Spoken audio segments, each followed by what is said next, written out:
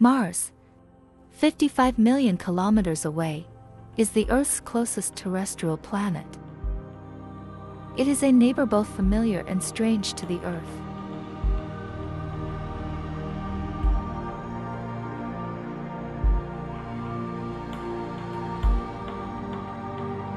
For decades, humans have been sending probes to the red planet. Such as China's Tianwen-1, hoping that the probes can provide a comprehensive and detailed understanding of Mars just as satellites have helped us to better understand our planet. Many probes have also touched down on the surface of Mars to conduct in-situ explorations. These efforts have made humans understand the past and present of Mars and predict its future.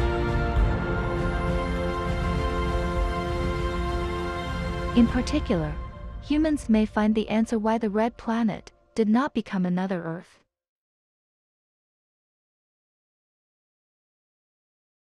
I am Zheng, a digital reporter at the Xinhua News Agency and the world's first digital taikonaut. Today, we will trace Mars past on its surface with the help of remote sensing images.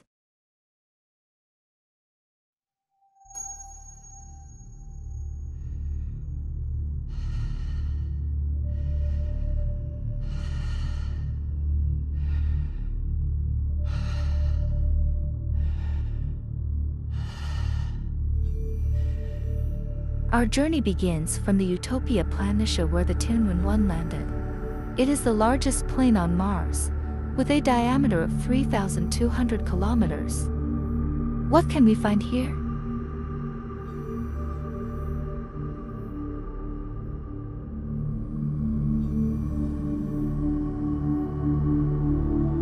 There are severely degraded impact craters, supposed to be caused by sediments infilling.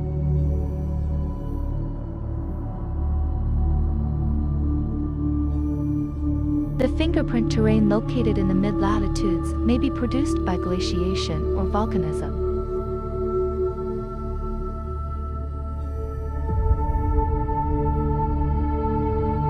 The giant polygon terrain may be formed by the permafrost cracking caused by thermal contraction.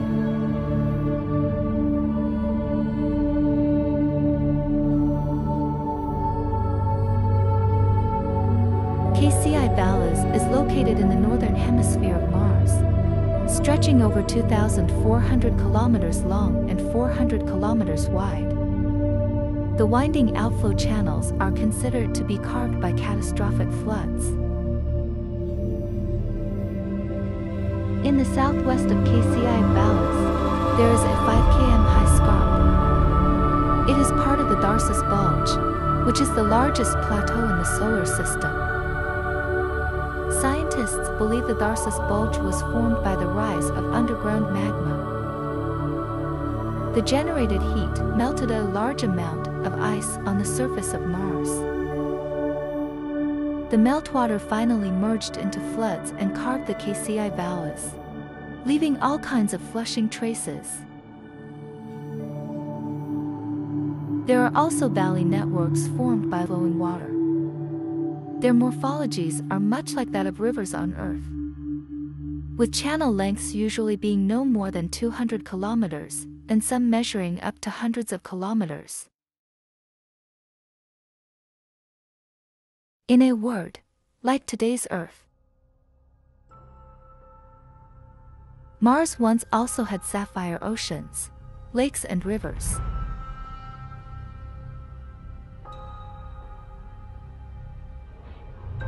Billions of years ago, a huge change took place and everything overturned. Scientists still dispute what happened at that moment. However, as a result, the red planet's magnetic field disappeared.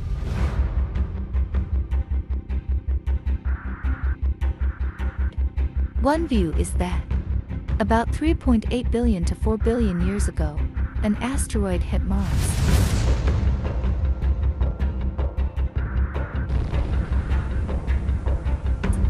The catastrophe heated the mantle of Mars, which disrupted convection in the red planet's core and weakened its magnetic field to 1% of its original level, almost disappearing.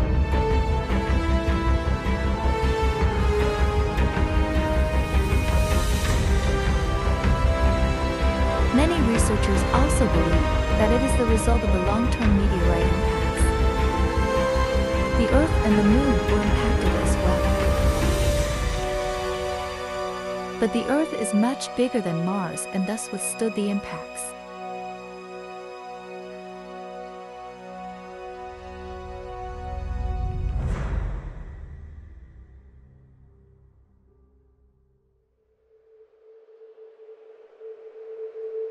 By measuring the magnetic fields of craters of different ages, scientists have proven that the huge change in the magnetic field did happen on Mars.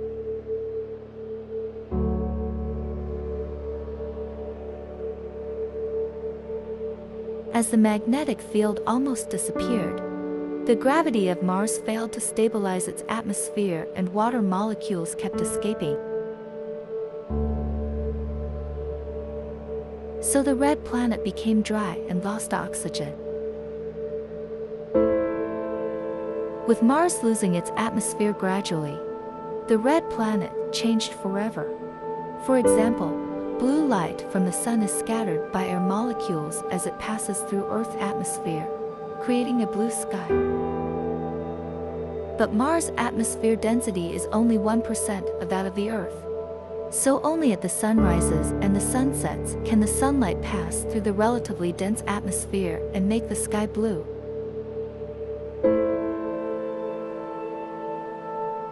On Mars, the spectacle of blue sunsets or sunrises can be seen every day.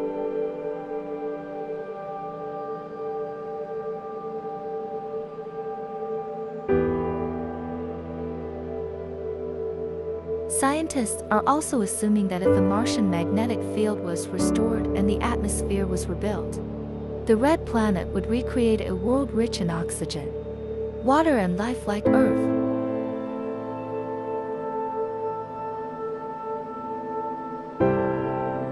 It had the same sunrises and sunsets as the Earth. I am Jill a digital reporter at the Xinhua News Agency and the world's first digital takeoff. Please continue to follow my interviews and explorations on Mars.